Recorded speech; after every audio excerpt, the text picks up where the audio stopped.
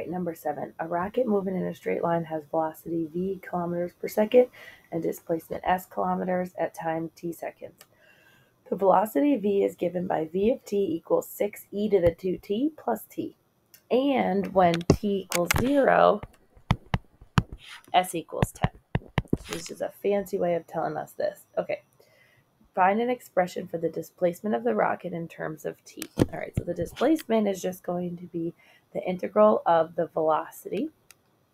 The velocity function is given above, so we're just going to integrate 6e to the 2t plus t dt.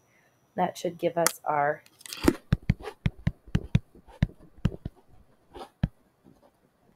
displacement or s of t.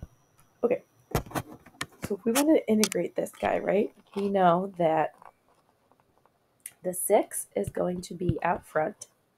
Um, when we take the, uh, like, let's say, here, let me do this this way so you can see, like, exactly what's happening, every little part.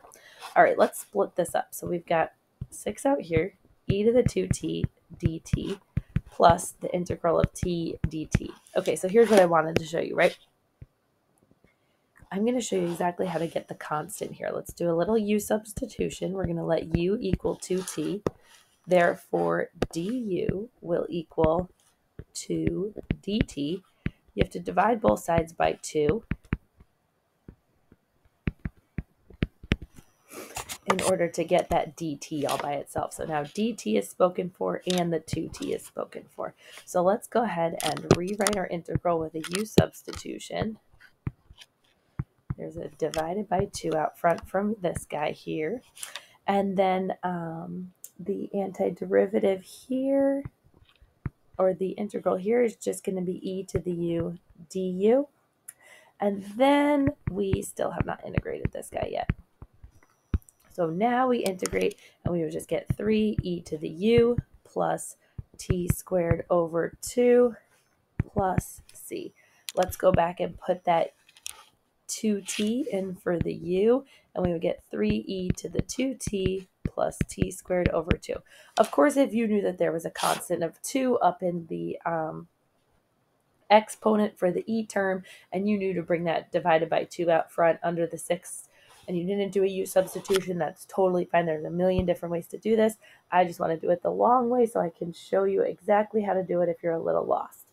Um, okay, so now we have s of t is equal to 3e to the 2t plus t squared over 2 plus c. Okay, so we have to find an expression for the displacement. So that means we can't have that pesky c out there.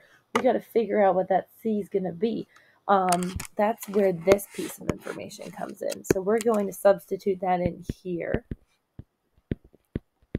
When time is equal to 0, the whole thing should be equal to 10. The position or the uh, displacement should be equal to 10. So now we've got, okay, then this is going to give us 10 is equal to 3 times 1 plus 0 plus c.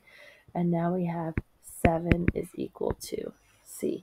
So our final expression for um, the displacement of the rocket in terms of t will be 3e to the 2t plus t squared over 2 plus 7.